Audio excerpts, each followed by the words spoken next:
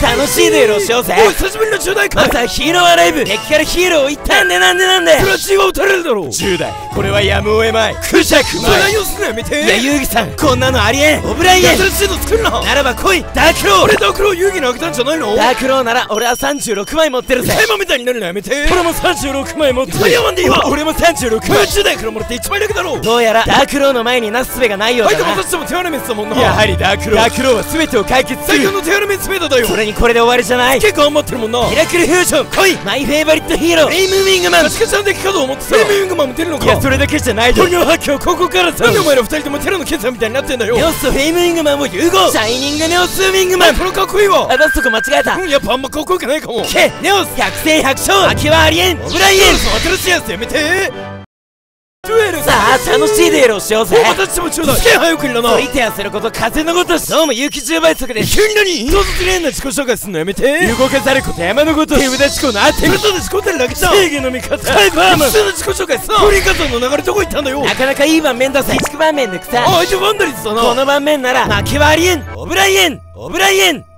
ブライエンはい闇の声吹けなんでなんでなんで？テラメス対策で入れてたんだろうな。ついでにヒーローを対策してくるカードなど。貸しておくかとあめっちゃガッツされたなんで貸しておくかと？ってこうしないと動画の尺が収まらないんだ。あめっちゃ大人の血だったと。りあえずアブゼロを召喚。モンスター効果を使うために。ワンダリー全編を召する。言い方よ。アブソリュートパワーフォールレッドデモンズドラゴンの攻撃名なそしてフレームウィングマン。フレームウィングマン来た。さらにマスクチェンジで。シャケ召喚スキルイドプラスな効果で闇の攻撃をバンおこれはうまいネオスとフレームウィングマンを融合シャイニングネオス。ウィンシグマンャリングネオスウィングマン来た盤面を返されたくらいじゃ負けはありえんオブライエンオブライエンでつらいやすんのやめて今日の最強カードはティアラメンツ絶対殺すマンマスクヒーローダクローな相手だけ墓地に行くカードが全て除外されるぞダクローは全てを解決するレベル5以下の闇属性が出るデッキならマスクチェンジセカンドとともにとりあえずデッキへぶち込んでおこう言い方よはいということで闇あけみくんチャンネルの中の人だ。今回もデッキ解説していくんだけどヒーローは本当にやれることが多くていろんな展開ルートとかがあるからポイントだけ押さえて分かりやすく話していこうと思うぜ。でまず戦い方なんだけど一番覚えておいてほしいのはヒーローは制圧をするよりもターンが返ってきた時に動けるように手札を揃えておくのが大事。例えば先行にダークローとデスフェニを立てておいて手札は次のターン動ける状態例えばミラクルフュージョンとかを残しておく。でこっちの盤面を返すために相手は万全の動動きをできないからそこをヒーローの爆発力でついて倒すっていうのが主な戦い方。でこれ高校になった時もヒーローは1妨害や2妨害じゃ止まらないことが多いから手札によるけど高校もヒーローの爆発力で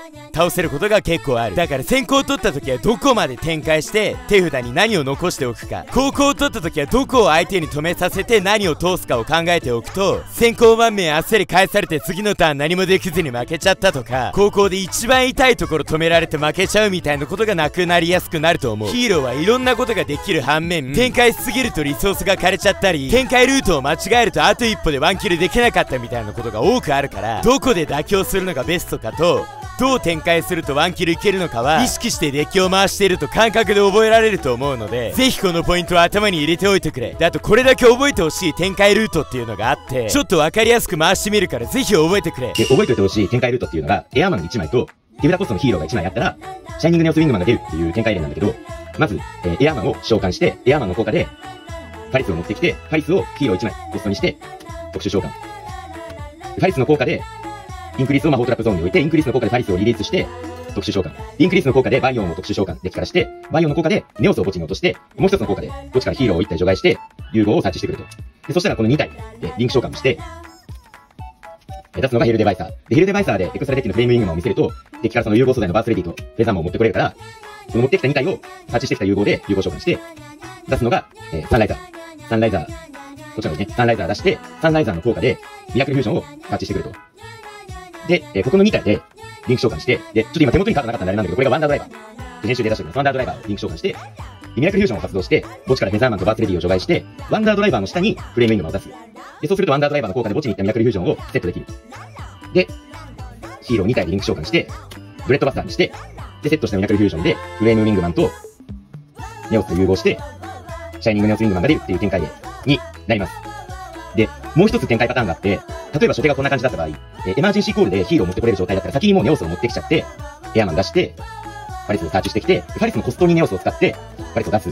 で、この流れで、えーヴァイオン出した時に、シャドーミストを墓地に落とせば、リキッドマンを持ってくることができて、で、まあ、いつも通り融合まで持ってきて、で、ヘルデバイス渡してこの2枚回収してきたら、こういう手札になるんだけど、融合召喚してたサンライザーは、属性が異なるヒーロー2体だったら何でもいいから、融合で、例えばこの2体で融合して、えー、出した場合、えー、リキッドマンの効果が発動して、デキから2枚ドローして、バースレディを捨てれば墓地にえー、国が揃うことになって、サンライザーでミラクルフュージョンを持ってくれば、ドローしつつ、先ほどの展開を再現できるので、この展開ルートもぜひ覚えておきましょう。っていう感じでネオスイングマンは結構出やすい切り札で、火力も出るし破壊効果もあって破壊耐性もついてるから、切り札なんだけどもバンバン出して、みんな爽快感を味わってくれ。はい、ということで解説は以上。マリクいつもの締めよろしく。はい、ということで動画見てくれてありがとうよ。チャンネル登録、高評価、コメントよろしく頼むぜ。また次回の動画も見てくださいね。はい、じゃんけんぽん